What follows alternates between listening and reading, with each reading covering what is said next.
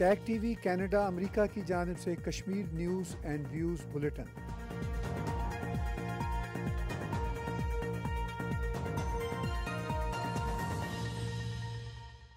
Jammu Kashmir हफ्तावार news bulletin के साथ हलीमा सादिया आपकी खिदमत में हाजिर है। आज की न्यूज़ बुलेटिन का आगाज़ हम जम्मू कश्मीर के उन बहादुरों की खबर से करते हैं, जिन्होंने अपनी जाने अपने इलाके और अपने देश की हिफाजत की खातिर निछावर की। उन बहादुरों को हुकूमत हिंद ने शौर्या चक्रा अवार्ड से नवाजा है। भारत की सरकार ने इन बहादुरों की शहादत के बाद भी उनको याद रखा है। इस सिलसिला में एक अहम नाम special police officer Ashiq Hussain Malik का है, जिन्होंने सन 2018 में अनंतनाग के अंदर दहशतगर्दों की एक टोली से मुकाबले के दौरान अपनी जान खो दी। भारत के सदर रामनाथ कोविंद ने उनकी वालदा शाहजादो बानो और वालिद मकबूल मलिक को ये अवार्ड पेश किया। इस तकरीब में भारतीय वज़ीर आज़म नरेंद्र मोदी भी मौजूद थे। श्री आशिक हुसैन मलिक जम्मू एवं कश्मीर के अनंतनाग ज़िले में विशेष पुलिस कार्मिक के रूप में तैनात थे। 21 जून 2018 को गाँव के एक मकान में आतंकवादी होने की सूचना मिलने पर राष्ट्रीय राइफल्स एवं केंद्रीय रिज़र्व पुलिस बल की सहायता से एक संयुक्त तलाशी अभियान चलाया गया। तलाशी अभियान के दौरान आतंकवादियों ने घेराबंदी तोड़कर वहाँ से भाग निकलने के उद्देश्य से अंधाधुंध गोलियों की बौछार शुरू कर दी।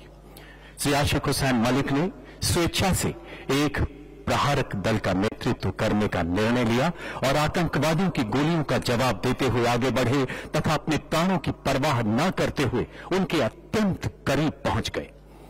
बेहद नज़दीक से हो रही आमने सामने की गोलीबारी के दौरान श्री आशिक हुसैन मलिक गोली लगने से गंभीर रूप से घायल हो गए एवं अंततः वीरगति को प्राप्त हुए। उनके अदम्य साहस की प्रेरणा से चारों सशक्त आतंकवादियों को मार गिराया गया। अदम्य शौर्य, अनुकरणीय राष्ट्र प्रेम का परिचय देते हुए श्री आशिक हुसैन मलिक ने देश सेवा में अपना सर्वोच्च बलिदान दिया। स्वर्गीय श्री आशिक हुसैन मलिक की माता, श्रीमती शाहजादा बानो एवं पिता श्री मोहम्मद मकबूल मलिक।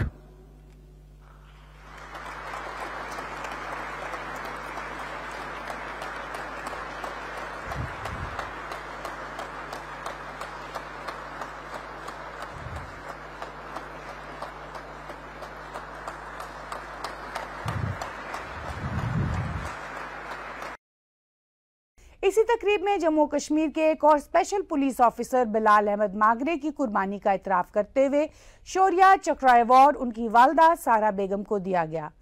इसी तकरीब में सब इंस्पेक्टर इमरान तक के खानदान को भी अवार्ड दिया गया। तहम पुलिस ऑफिसर सुभाष चंद्र ने ये अवार्ड खुद वसूल किया।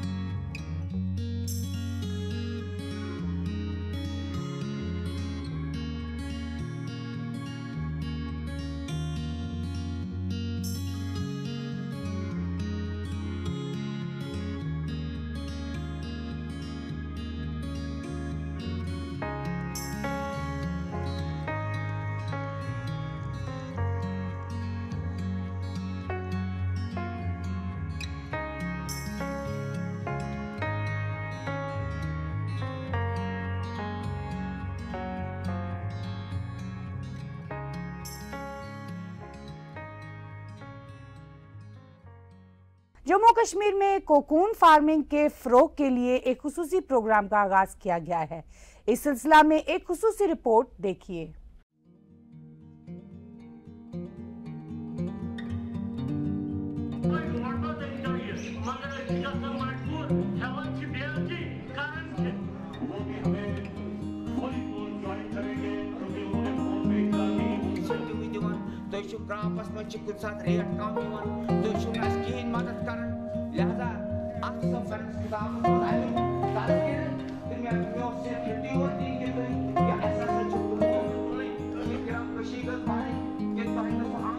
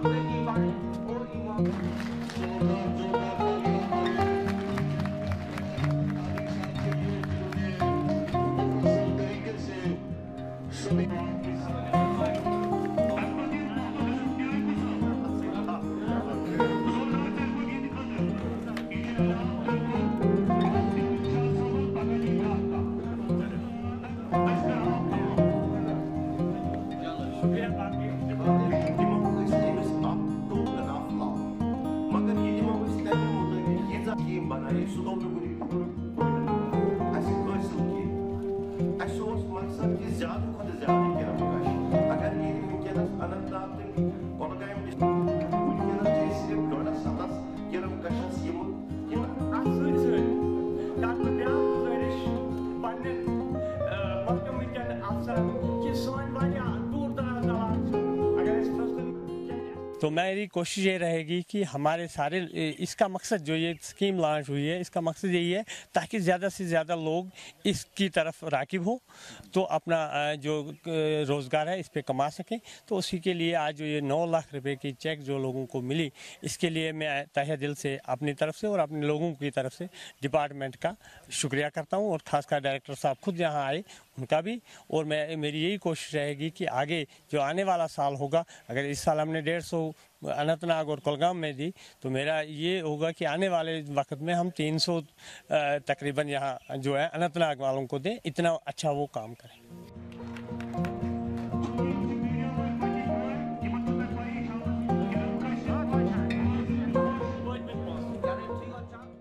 जी मैं पिछले पंद्रह साल से किरमकशी करते आया हूँ। मगर मुझे इस बात से बहुत खुशी हुई है कि मुझे रोज़ बरोज़ और साल ब साल बहुत मुनाफा हो रहा है।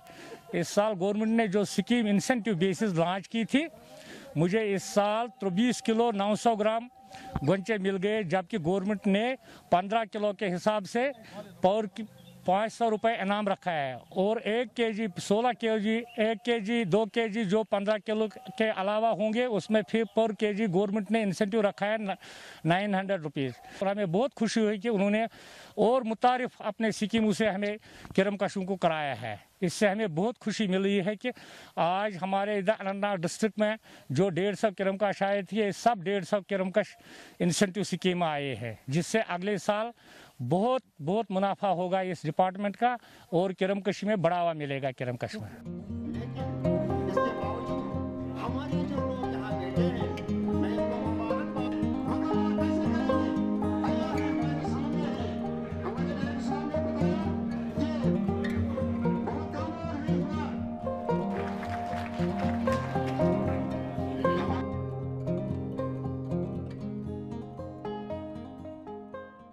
अब हम आपको अहवाल दिखाते हैं श्रीनगर के खसूसी सूफी कल्चर शो का। सूफी विरासत के नाम से ये शो मुनद हुआ जिसका मकसद जम्मू कश्मीर की कल्चरल हिस्ट्री का आया करना था। इस शो में मारूफ फनकारों ने शिरकत की और लोगों की बड़ी तादाद ने राहत हासिल की।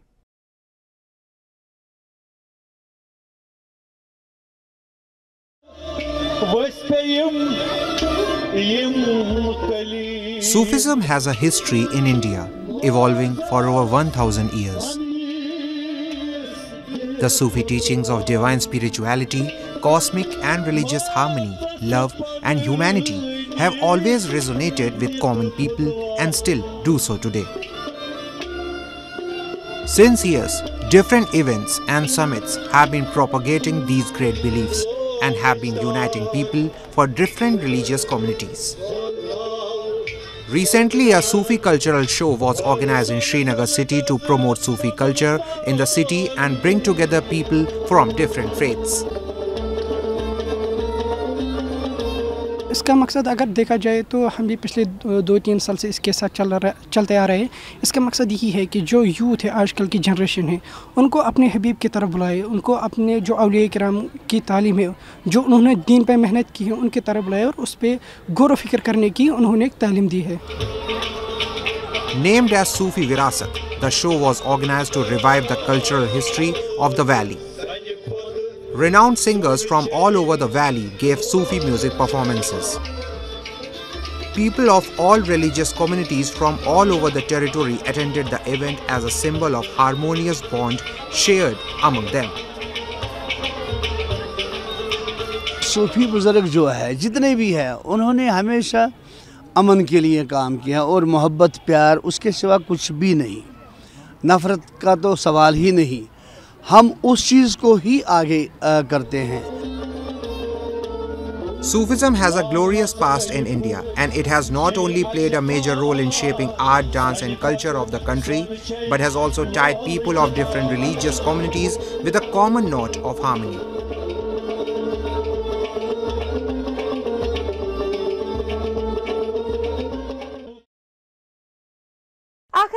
हज़रत सैयद याकूब साहब के उर्स का हवाला आपको दिखाते हैं। इस उर्स में सैकड़ों लोगों ने हज़रत के मिजार पर हाजिरी दी और उर्स के मुंतजमीन ने अपनी राय का इजहार किया।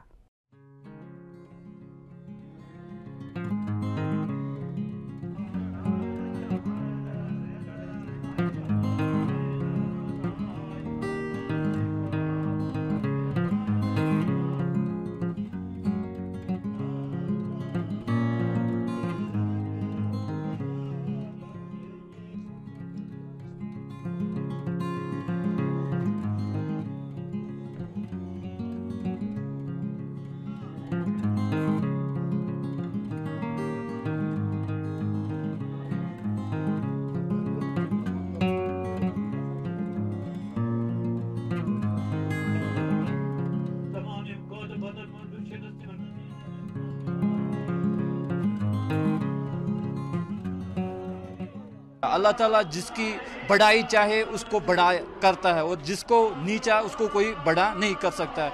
ये जो दरबार है अलिया का दरबार, यहाँ से आने जो खुद नहीं आते लोग अल्लाह ताला ये तौफीक देता है कि वलियों के दरबार में जाने की।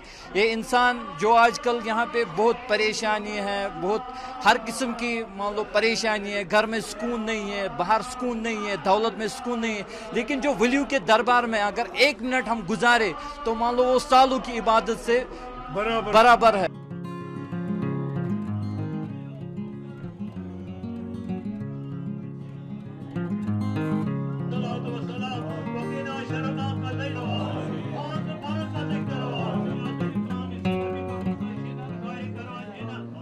जो हमारे नौजवान पोत बेरा रहे हुई है बेशर्मी है बेहयाई है यह सिर्फ़ यही बात है कि वो अल्लाह ताला के अहकाम की से दूरी उनमें पैदा हुई है। नबी पाक सल्लल्लाहु अलैहि वसल्लम की सुन्नत उन्होंने छोड़ दी है। तो यहाँ पर यह उजागर होती है। इन मजाइसलों में अल्लाह तबारक ताला के अहकाम उनको बनाए जा, बताए जाते हैं। और यह अलिया जो लोगों में महबूब बन गए अल्लाह के महबूब बन गए उनकी जियारत में आके तो फैज़ हासिल करके इन उनके लिए भी यह मशल राह बन जाएगी।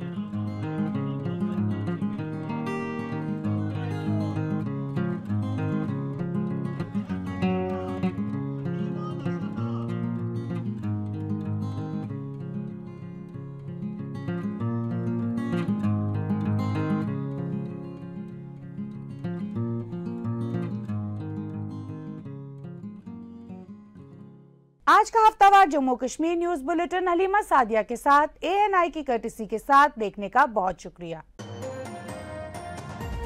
टैग टीवी, कनाडा, अमेरिका की जानब से Kashmir news and views bulletin.